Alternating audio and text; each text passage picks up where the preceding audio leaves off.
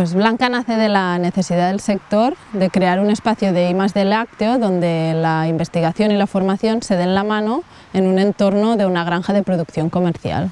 Es un centro de ciencia y conocimiento integrado por cuatro unidades. La primera de ellas es la granja Ponderosa Holstein, que actualmente está ordeñando 200 vacas y en base a esta se desarrollan otras tres actividades, la de ciencia e investigación, la de formación y educación y la de mejora genética.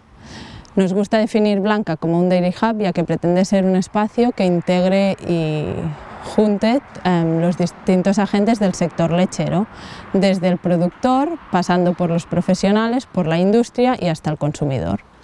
Básicamente, considerando que el IRTA es un instituto de referencia en la investigación en rumiantes, desde Blanca creemos muy importante trabajar juntos y el vínculo con IRTA nos permite desarrollar una investigación muy rigurosa y aplicada en una granja comercial.